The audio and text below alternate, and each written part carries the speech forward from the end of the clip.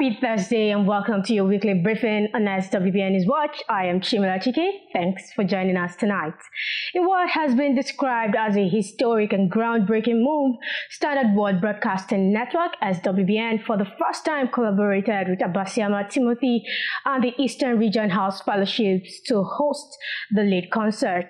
Many describe the lead concert as a glorious and refreshing time in God's presence. Believers traveled across Nigeria to be part of the 2023 edition of the lead concert in Calabar, Cross River State. The gathered audience participated in over three hours of intense worship and prophetic declaration of God's word. Seasoned ministers like Brother Chibuna Izinwa, who came all the way from Lagos, Nigeria, talked to the gathered audience on the essence of worship so when we come to worship Him, it's not razzmatazz. Hmm? We are deliberate. We are conscious. We know what we want to achieve. We know that if He doesn't show up, we don't know what might happen next. So there was a time He was not around, and it is called Ichabod.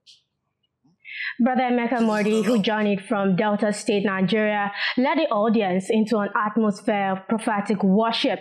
Different soul conditions were addressed, and people received direct words of counsel and healing under the prophetic cloud. At the time of making this report, the lead concert had garnered over 1.4k views and counting. Gloria Lamigoke, who joined online, told the SWBN community that, quote, the lead concert was such a beautiful and powerful time in the Lord's presence. He went on to pray for the Lord's blessings on everyone involved while expressing his wish that the concert be, quote, held once a month, but of course, as the Lord wills. Still reacting to the outcome of the concert, the co-chair of the SWBN board, Sister Udeme Anosike, told the SWBN community that the lead concert was a powerful time. In her words, I was so blessed. Moreover, the chair to the SWBN board, Brother Gideon Fonabasi, told the audience at the lead concert that this was a beautiful outing, while announcing that the SWBN week was coming and it was going to be explosive. The lead concert was founded by Brother Abasiama Timothy of Calvary House Fellowship. Timothy is a talented worshiper and guitarist who has produced several albums, including the popular song are not naked. In a written note, he thanked everyone for the success of the concert. Have you seen the lead concert yet? If you haven't, you're missing a lot. I know you want to get on to the lead concert right away, but hang on for the next story. Now to our next highlight. We hate to change your mood, but this story is very important to our brethren undergoing intense persecution. So stay with us.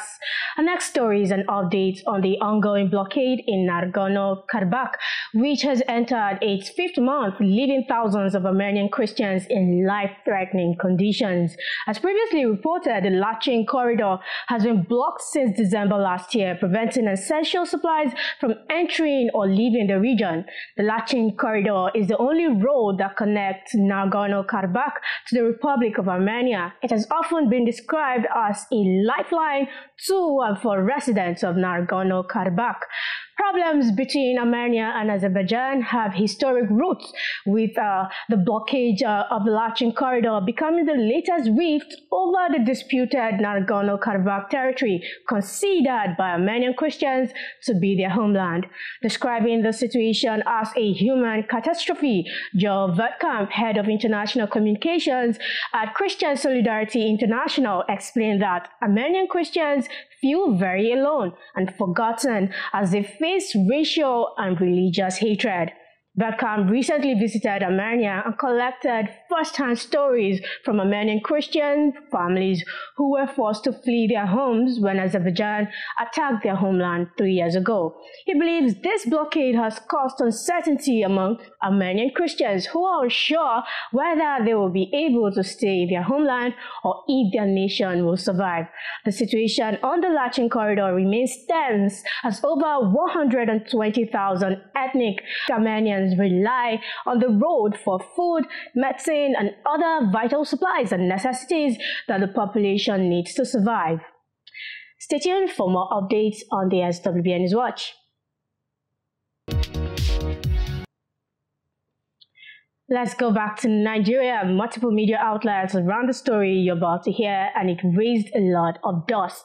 From what we have been able to gather, the General Overseer of the Redeemed Christian Church of God, also known as RCCG, Pastor Enoch Adeboye, allegedly said that Nigeria will prosper under the incoming administration of Bola Ahmed Tinubu.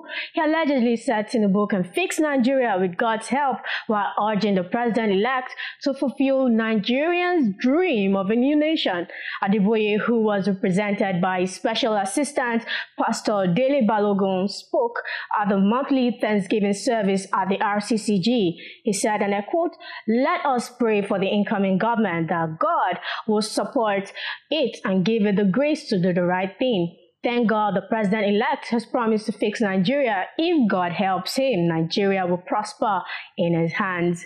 Reacting to this development, Nigerian disc jockey Obianuju Catherine Udeh, popularly known as uh, DJ Switch, expressed her displeasure in a tweet where she explained that Pastor Adeboye, who was mute during the injustices mounted against Nigerians by his best friends in the ruling All Progressive Congress APC, has suddenly found his voice and now wants God to help Tinubu fix Nigeria. She said, one day the cleric and his cohorts will show Nigerians the God they are always referring to. DJ Switch was not the only one who was offended by the conduct of the respected general overseer one Lagos-based brother who spoke to us anonymously recalled how Adeboye kept silent during the racial tensions against the Igbos in Lagos. He argued that, quote, one component of God's justice system is to stand for the oppressed. He didn't do any of that. He didn't as much say a word. It was disappointing. End of quote. Meanwhile, the presidential candidate of the Labour Party, Mr. Peter Obi, has described as most unacceptable attacks on the general overseer of the Redeemed Christian Church of God, Pastor Enoch Adeboye. The former governor of Anambra State said some people are masquerading as his followers to rain insults on the 81-year-old cleric. Obi condemned the use of subterfuge, saying he eschewed name-calling, insults, and abuses. In a tweet, he said that, quote, the use of subterfuge by people masquerading as Obidients to abuse and insult eminent personalities like Most Reverend Pastor Enoch Adeboye or anyone else is most unacceptable. Obidients are by and large law-abiding citizens. End of quote. He went on to say that while differences of opinion are normal, calculated efforts to create ethnic or religious chasm, all in the name of politics, should not in any way be tolerated. He also warned that political opposition deploys such methods to gain undue advantage and create confusion and bad blood. Note that Obi is currently challenging the victory of the president-elect Bola Tinubu at Nigeria's election tribunal. Recall that the Labour Party presidential candidate allegedly came third during the 2023 presidential election as announced by the Independent National Electoral Commission, INEC. Nigerians have accused INEC of corruption and massive rigging in favor of the ruling party. That's our final story on this edition of the SWB News Watch. A Christian school in Germany is contesting the country's restrictive educational system after government officials rejected a request for accreditation. The Association for Decentralized Learning provides online and homeschooling programs established on Christian values. The school's request for accreditation was denied despite meeting all state mandated requirements and curricula in 2014. They were also denied permission to begin offering primary and secondary education opportunities. The government argued that peer socialization, a crucial component of education, was less likely with hybrid learning. Meanwhile, the German Constitutional Court dismissed a final domestic appeal last year after attorneys filed a lawsuit over the inaction in 2017 and presented their case in three consecutive hearings.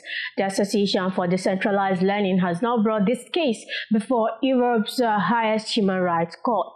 The Alliance Defending Freedom International ADF, a faith-based advocacy group, is defending the school which asserts that Germany's rigid educational system violates parental rights and educational freedom. In a press release, Felix Böllmann, Director of European Advocacy for ADF International, stated that, quote, the right to education includes the right to embrace innovative approaches like hybrid school learning, unquote. He went on to assert that Germany has one of the most stringent educational systems in the world when it comes to the demand of physical presence.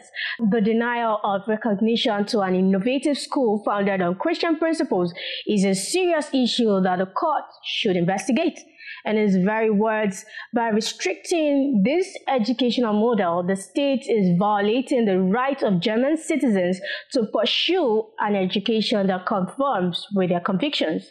Reacting to this development, Tobias Riemenschneider, pastor of the Evangelical Reformed Baptist Church in Frankfurt, Germany, told the Daily Wire that Christian parents would like to have more control over what their children are exposed to. Moreover, the leader of the Association for Decentralized Learning, Jonathan Ers, made it known that their school offers families quality education that satisfies each student's unique learning needs and promotes academic success. The school also argued that students who enroll in the program continue to achieve greater standardized test scores than their counterparts who attend government-run institutions. At this point, please share your thoughts on how the restrictive educational system in Germany affects Christian parents and their homeschooling efforts.